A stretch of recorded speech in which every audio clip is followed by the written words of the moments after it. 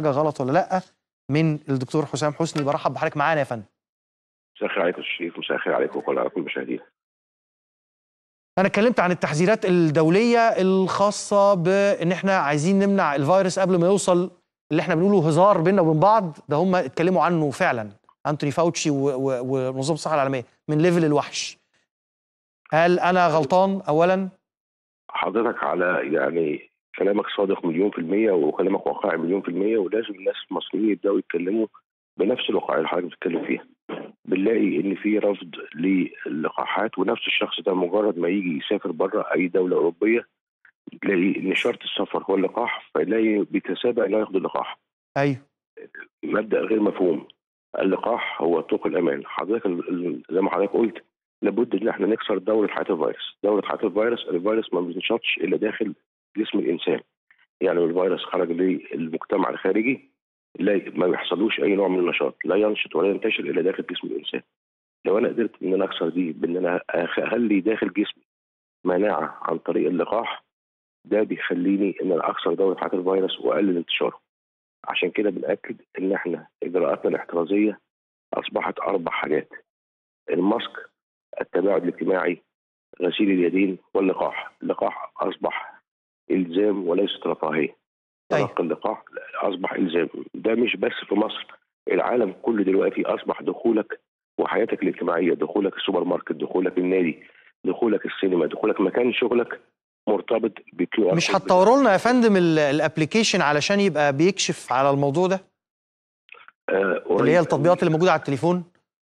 آه، قريب قوي هتبقى تطبيقات دي داخل مصر وإحنا شغالين عليها في وزارة الصحة دلوقتي وفي قريب قوي خلال أسبوع أو اثنين هتبقى التطبيقات دي موجوده على المصريين كلهم. بشكر حضرتك شكرا جزيلا دكتور حسام حسني. اتفضل في حاجة حضرتك عايز تقولها؟ لا اللقاح هو الامان. اللقاح ولا اللقاح بيحميني بنسبة كام في المية يا فندم؟ خلينا نقول على الأقل حضرتك قلت معلومة مهمة جدا على أمريكا ونسبة الإشغال. أيوه وجدوا إن العلاقة دي مرتبطة بنسبة طبعا مش نقولش الولايات المتحدة يعني في ولايات المتحده اللي فيها نسبة إشغال دي. ال- ال- الجنوب هو أكتر جزء خايف من اللقاح ومقاومه والجنوب فيه أكتر نسبة آه، آه، آه، انتشار للعدوى ودخول مستشفيات عشان ما فيش لقاح. المستشفيات عشان التطعيمات. فالتطعيمات ما بتحميش من الإصابات لكن بتحمي من الإصابات الشديدة والوفيات. وتقلل نسبة الإصابة. يعني التطعيم هو ب...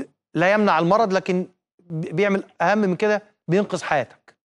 لا يمنع المرض بنسبة 100% بيمنعه بنسبة من 50 ل 70% لكن يمنع يمنع الأعراض الشديدة والوفيات لنسبة تصل إلى 99% بإذن الله. طب أنا أنا برضه قبل ما أشكر حضرتك في برضه سؤال جه في دماغي دلوقتي. النهارده كان آه، رئيس مجلس إدارة شركة فايزر بيطلب من ال FDA من هيئة الدواء الأمريكية إنها توافق على الجرعة الثالثه المنشطة. إحنا ال- الأبحاث دلوقتي بتقول آه، الحماية الخاصة باللقاح الأجسام المضادة أو الفعالية الخاصة باللقاح بتستمر معانا الناس اللي متطعمة بتستمر معاهم قد إيه أو بتبدأ تقل في فترة قد إيه على حسب ال technology بتاع تصنيع اللقاح. آه يعني في لقاحات اللي هي totally inactivated دي بتقعد من 9 أشهر ل 12 شهر زيها زي ال viral vector اللي هو استرا وسبوتنيك وجونسون جونسون.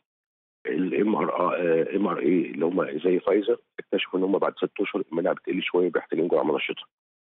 يعني يعني التطعيمات اللي معمولة بال بال بالطريقة التقليدية اللي إحنا نعرفها بتقعد من 9 ل 12 شهر بالظبط التكنولوجيا الجديدة اللي هي خاصة مثلا بال- باللقاح اللي زي فايزر آه، دي بتبقى أقل شوية فاللي بتحتاج تنشيط بالظبط. دكتور حسام حسني رئيس اللجنة العلمية لمكافحة فيروس كورونا في وزارة الصحة تحياتنا يا فندم ونتمنى لكم التوفيق في كل الجهود اللي بتقوموا بيها. شكرا جزيلا.